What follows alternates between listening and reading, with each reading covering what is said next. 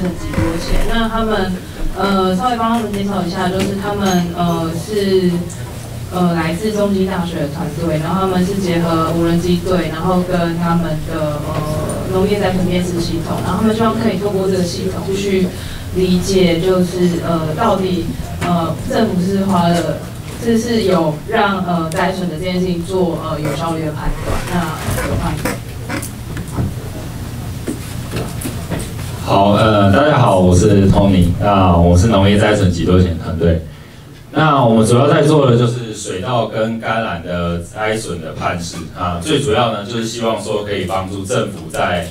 呃提升勘灾上面的效率，因为啊每年啊就是只要有灾害发生的时候啊，对台湾的整体的农业损失都非常大。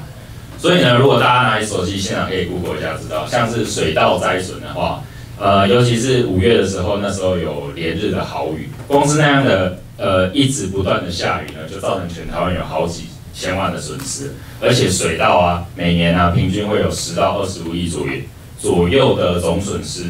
那第二个部分是甘蓝的部分呢，呃，高丽菜的部分则是每年几乎都有价格大崩盘的情况发生。可能是因为农民抢种啊，天气太好，就是整个数量涨得非常非常的多，然后导致就是最后整个价格就往下掉。那每年的总损失大概有一到四亿元。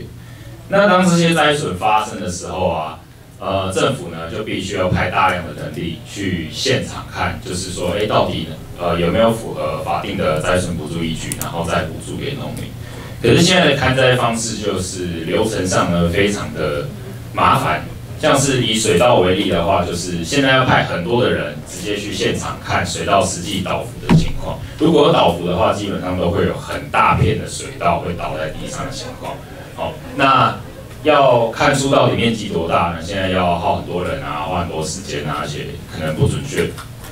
那甘蓝的部分则是，呃，政府可能很难知道说种苗商手上到底有多少的苗，而且。农民实际到底种了多少，你也不知道。那要他们每个人都会上网做登记，他们的意愿也很低。所以我们在想说，是不是可以用影像分析的方式呢，来做到就是，呃，水稻的部分，我们就是用实地的高度差的资讯来分类，从影像分类出实际倒伏的面积区域有多大。那甘蓝的部分呢，我们就希望说可以直接辨识现地。呃，用用空拍影像去知道说农民实际到底种了多少的棵树，所以呢，接下来简报我就直接分成两个部分来说，所以我们先谈水稻的部分。呃，我们学校是中心大学的实验团队，那我们是农业起家的学校，那我们自己家里有种田，可以可以看到这块田呢，其实就是以前有因为下雨的关系啊，它其实中间有造成一些倒伏的情况发生。所以我们就想说，哎，那我们就直接去用无人机去拍回来，然后直接做实验。那我们在实验上呢做了什么呢？实际上呢，呃，我们用我们以前实验室用商业软体所做过的整条的流程，跟为了这次 GDP 奖助金计划呢，呃，我们用整个的开源方式也做了一次实现。那实际上呢，我们最重要的重点刚刚提到，就是我们需要的是高度差的资讯，所以我们是把我们的影像拍回来之后做 3D 建模之后，然后去把实际上，在现地高度比较低的影像的 pixel 给做呃一个分类，这样的话，我们只要去计算说比较低的 pixel 数量跟整体填区的数量比例大约有多少，我们就可以知道它的整体的在水面积比例有多少。所以呢，我们把比较低的 pixel 直接套回原厂，呃原始的现地上面，就是可以很清楚看到，就是大致上它是。呃，跟我们人员实际去勘察、去看这一块田的时候，其实是差不多符合现地倒伏的状况的。那第二个部分则是呃甘蓝的部分呢，因为近几年啊，深度学习就是有开始广泛的在应用空拍影像的物件辨识。那我们就想说，是不是可以把像这样辨识车子的情境拿来就是辨识甘蓝的情况？好，那可是呢，要执行深度学习训练呢，大致上会有三个步骤，就是。第一个你要准备很多很多的资料，第二个你要训练的非常很非常非常的久，然后接下来把你训练出来的成果拿去做物件的辨识。所以接下来呃第一个部分呢，我们就要收集很大量的 data。那我们就在台中市雾峰区的农业实验所跟他们借了他们的实验田，拍了很多影像，然后还有就是今年五月底左右的时候，那时候彰化市主好像有盛产那个橄榄，所以我们就尽可能去拍很多的 data 回来。那拍回来的 data 之后呢，我们一开始呢先做一些简单的分类，最主要呢是把我们原始的空拍的影像图呢，呃，萃取出那个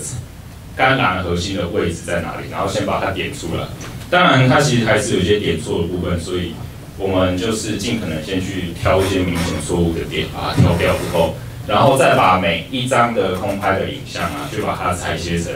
四一六乘四一六的大小，而且每一张图它会有对应的点，我们就给它画出一个蓝色的框框。这个是我们手动画的，不是电脑辨识的结果哈。就是画它的框框，最最主要的意思是要让电脑知道说，哦，这张影像这边是有感染的。好，那我们有图有点的资料，我们就把这样的资料呢，全部把它。存到一个标注档里面，最主要是要做深度学习用，然后再加上我自己做了一个很大的散热器，因为我每次在做训练的时候都要非常的久，而且我的电脑非常的烫啊。但是呢，最后呢还是有成功的跑出来成果了，就是它是可以把橄榄正确的框出来，没有错。